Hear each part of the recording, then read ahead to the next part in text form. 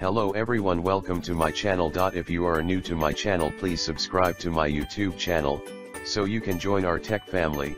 If it is informative to you please like our video share it with your friends so they can get help with these video and don't forget to press all notification bell icon so you get regular update and don't miss our any single video.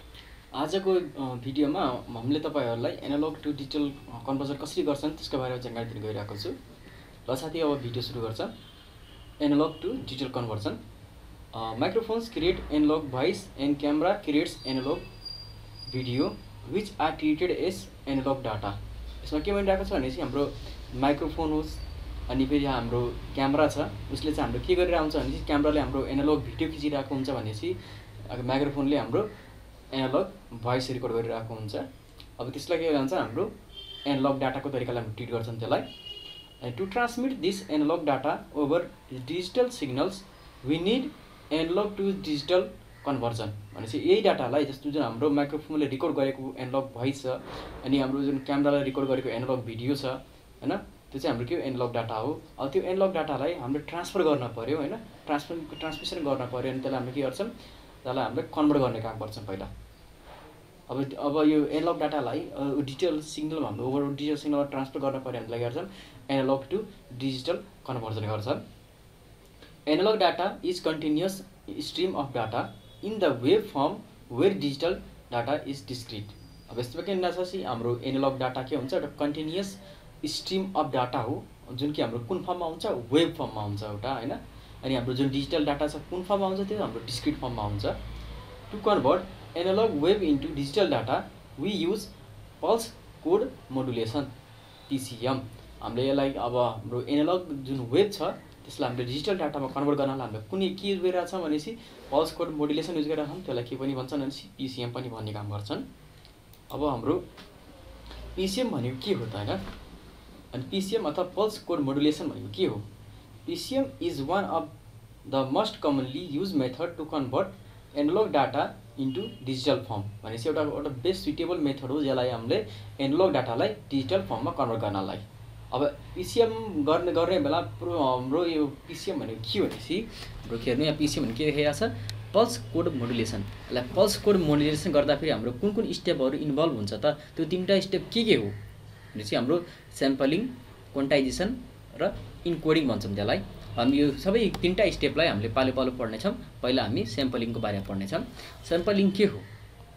अब the analogue signal is simply simple every T inter interval भनेपछि हाम्रो एउटा analogue सिङ analogue हाम्रो जुन signal हुन्छ त्यसलाई हामीले sample निकाल्छ। एभ्री टाइम यदि टी इन्टरभल भनेको टाइम अफ इन्टरभलमा एकदम इन्टरभलमा हाम्रो त्यसको स्याम्पल निकाल्छौँ होइन?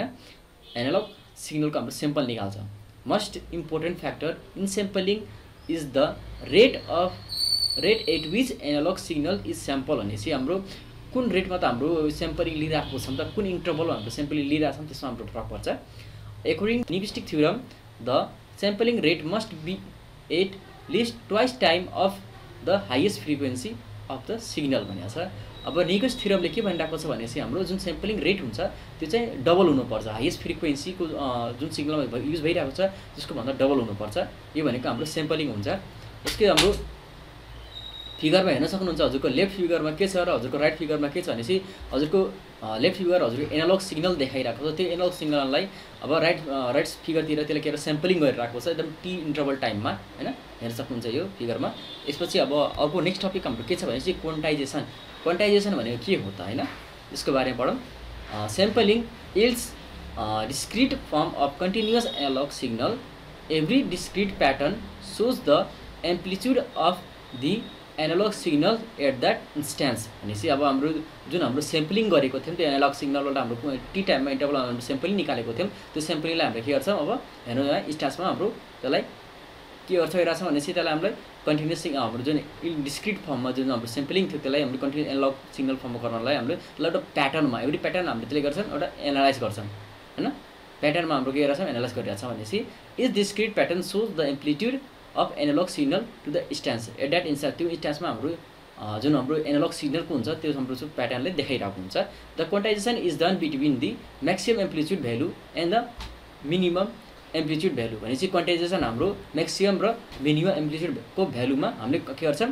क्वान्टाइजेसन गर्छन् र quantisation is appropriate approximation of the intent instantaneous analogue value भनेपछि हाम्रो क्वान्टाइजेसन के हो त अब एप्रोक्सिमेसन अफ इन्स्टान्टेनियस एनलग भ्यालुहरू हो यो हाम्रो यो होइन हाम्रो के छ क्वान्टाइजेसन के हो अब एप्रोमेक्सन इन्स्टान्टेनियस एनलग भ्यालु हो हाम्रो यो। अनि हाम्रो अर्को टपिक अर्को हाम्रो लास्ट टपिक के छ? इन्कोडिङ छ। इन्कोडिङलाई के भन्छ भनेपछि जुन हाम्रो स्याम्पलिङ गरेर निकालेको एउटा फर्मेट थियो होइन स्याम्पलिङ गरेर निकालेको फर्मेट पछि हाम्रो क्वान्टाइजेसन गरौँ क्वान्टाइजेसन गरिसकेपछि हाम्रो एउटा इन्कोडिङ गर्ने त्यो प्रोसेस हुन्छ। त्यसलाई हामीले अब सेम क्वान्टाइजेसन गरिसकेपछि हाम्रो एउटा जुन प्याटर्न फर्ममा हुन्छ त्यसलाई त्यसलाई हामीले इन्कोडिङ गरेर हामीले बाइनेरी फर्ममा कन्भर्ट गर्ने काम गर्छ। त्यसलाई के भन्छ? इन्कोडिङ भन्छौँ। ल साथी मैले भिडियोमा तपाईँलाई आज के अझ मैले एनालग सिग्नललाई डिजिटल डिजिटलमा कसरी कन्भर्ट गर्ने र एनालगलाई डिजिटलमा कन्भर्ट गर्दा फेरि हाम्रो एउटा पिसिएम भनेको पल्स कोड मोडुलेसनले हाम्रो हेल्प गर्छ त्यो पल्स कोड मोडुलेसनमा कतिवटा स्टेप इन्भल्भ गरिरहेको छन् भनेपछि स्याम्पलिङ क्वान्टाइजेसन र इन्कोडिङ भइरहेको छ। त्यो तिनवटा प्रोसेसलाई मैले पालि पाले हजुरलाई देखाइसकेको छु र तपाईँ यसको बारेमा भनिसकेको साथीहरू। र साथीहरू अब म अर्को भिडियो भेट्नेछु। हस् त नमस्ते। We hope you enjoyed the video and found value in the content, we value your feedback, If you have any questions or suggestions feel free to post them in the comments section or contact us directly by our social platforms, thanks for watching.